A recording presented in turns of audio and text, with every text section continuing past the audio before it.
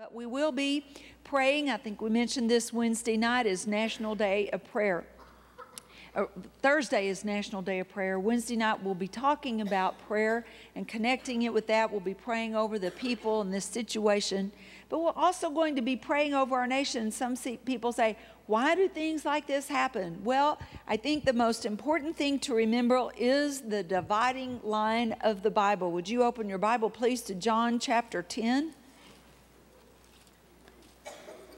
And even when we don't know all, when we don't understand, and sometimes you think you don't understand something, and it's not that you don't understand, you just don't know what else is going on.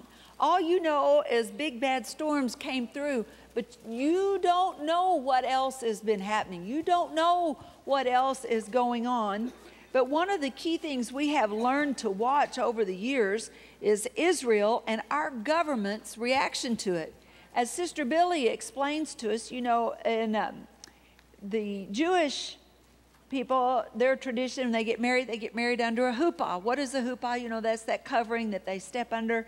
When we were in Israel, we saw two different weddings that were happening at the hotel we were in, and it was spectacularly gorgeous. These were very, very beautiful high dollar weddings, but the huppah was outstanding. It was white and covered in flowers. It was beautiful, but they're married under the huppah. What is the huppah? The covering of God's blessing. But there are things you can do, as Sister Billye says, to shoot holes in your huppah. Or you could be, you could be that you don't have a huppah at all. When you think about a nation like Japan, what kind of spiritual blessing do they have operating for them? So much of that nation has rejected the gospel. They've rejected God for thousands of years. And you don't have something in place to protect you from the buildup and the, the dynamic of sin. So we thankfully in this nation, we do have a spiritual huppah over this nation, but sometimes we have people making decisions that do weaken it and shoot holes in it. And so we see this in John 10 10. The thief comes only in order to steal and kill and destroy. What's he coming for? Bible says he searches, looking for whom he may devour. He's looking for the huppah with the holes in it. You know, and there are a lot of things that come on uh, people because of of the um, national decisions, and I, I, you know, I won't get into all this. I'll try to restrain myself, but I will tell you this where you say, What has America done about Israel? Well, I'll just tell you this one little thing.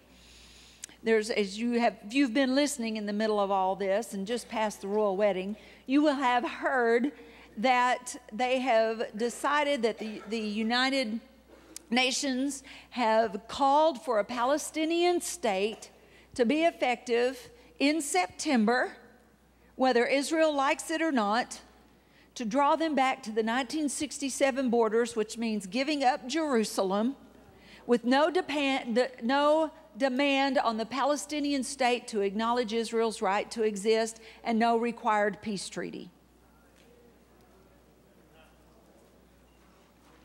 Hamas and Hezbollah and the Palestinian Authority have now shaken hands and formed a single government in preparation for this Palestinian state in September. And you say, well, our government didn't do that. Well, the, the word that we got on it is that because this administration understands that this nation would not go for that, has been putting pressure on the United Nations and European countries to move it forward and to, to make it happen so that we're under the radar on it. Not going to fly. So we're going to be praying about that on Wednesday night. I want you to come. We need your help. Praise the Lord. So, who is it that comes to steal, kill, and destroy? Say it loud. Who is it? You have to be bold about that and understand it and know it adamantly because every the mindset of the world and too many Christians is that God sent it, God's doing. It. Yeah, what's God's judgment? God's not judging Alabama. God judged sin. And he said, when sin overflows, it overflows unto judgment. Judgment comes on that mess in order to put a stop to it and move it out of the way. And so the thief gets in with there. He's the one that produces stealing, killing, and destroying. But Jesus said, I have come that they may have and enjoy life and have it in abundance. Have it more abundantly. More abundantly than what? Jesus came to bring life in more abundance than the thief can kill, than the thief can steal, and than the thief can destroy he goes over the top with it. So that is our, our founding foundation cornerstone of who God is, who Jesus is, and who the devil is. And it helps a lot to know who your enemy is. Now, look in Malachi chapter 3. We're familiar with this scripture, of course, as a tither. You know this verse. But we want to recognize something in that that shows us God's plan. He has a plan for dealing with these situations. And his plan says, bring the tithe, all the tithe, into the storehouse that there may be food in my house. What is the storehouse? Whose house is it? Oh, this is not hard. Whose house is it we're bringing it into? God's house. His house. He said, My house. Bring ye all the tithe into my house. Why did he say to do that? He said, and see if I will not open, he said, so there'll be food in my house. See if I will not open the windows of heaven for you and pour out a blessing that there will not be room enough to receive it. And why is that? He wants things brought into this house so that this house can take the blessing, the overflow blessing, and reach out to other people. Because there's a blessing on it. There's a blessing on what is brought in here. God blesses it, so it will do more. Thank God for the Red Cross. Thank God for all the people that help. I'm thankful for them.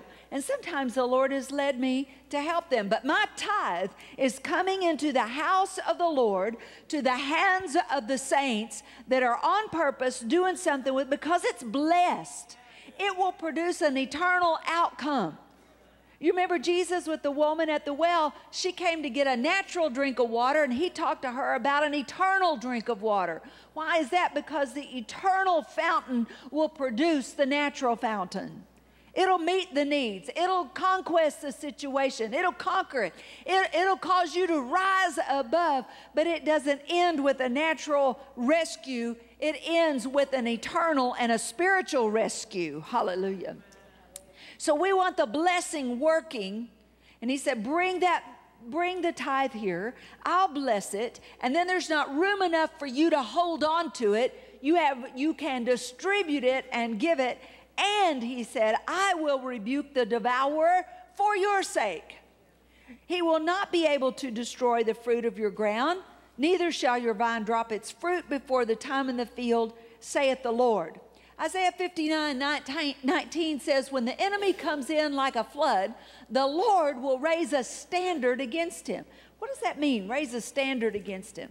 If you look the Hebrew word up that's translated, will raise a standard, it can also be translated will chase away, will make evaporate. In other words, make it look like he was never there. And not only never there, but when God moves in and he raises things up, he raises it up to a much higher, glorious standard, much bigger, much better.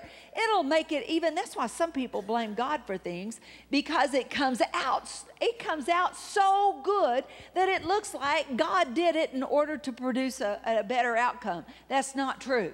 But, but God is so good at turning around what the devil intends. He is so good at putting down what the devil has done. He will cause great uh, blessing even to come out of situations where the devil has had his hand in it. And that's what we're believing for. That's what we want to be a part of. And he says to bring it into his house. Now, last look at Galatians chapter 6. And we're taking a little extra time with this today because Pastor's going to tie right into this in this message, which I didn't know that until we talked right before the service. So that was good. Galatians 6 says, 7, don't be deceived. God is not mocked. Whatever a man sows, that and that only is what he will reap. For he who sows to his own flesh will reap destruction. But he who sows to the Spirit will from the Spirit reap life. How do you reap and sow and reap to the Spirit? By faith. We do things because the Word says. We do and we expect the outcome to be because the Word says it will be that way. Faith is not just obedience, but it's obedience with an expectation of a promised outcome. Faith says, Yes, I will do that, and therefore I expect God to do, do what He said. And that's the way He wants you to do it. Put all the pressure you can on His Word, and you do that by faith. So we, we're obedient. Now let's keep reading. He says, Don't lose heart, don't grow weary in well doing.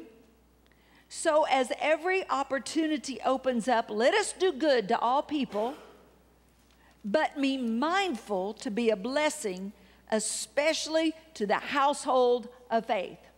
And so God's plan is always the household of faith first, because that's where the blessing can be at work with those that are not of the household of faith. They cannot be blessed by themselves. They cannot bless themselves. They cannot access the blessing themselves. It takes the people of God to bring the blessing of God to people who need it. So we bring it to the household of faith, the house of God, and we also bring it to the household of faith. Now, when you bring your tithe into this storehouse, the top 10% of everything that comes into this church, everything that comes into this church, the top 10% is set aside to be a blessing and minister to other people, whether it's through other ministries, uh, people in our own congregation that, that are in a crisis situation, or in situations that we're in uh, right now with these other uh, parts of the country. But then we also have the Disaster Relief Fund. And that is not our tithes, it's our offerings that we have brought in in order to be a blessing, first of all, to the household of faith. We take care of the household of faith. Why? Because if we put it in the hands, if we, we get the blessing to the household of faith, that blessing will multiply to people all around them. And there will be a resurrection of life drawn up like that song we just sang. Well, draws us up out of the ashes. And only God can do that. He'll bring up lives out of ashes. He'll bring up houses and homes and cities and whatever else is needed. He will do it, and He will do it not only to His glory, but people will be lifted up and lives will be restored. A government cannot restore a life, but Jesus can.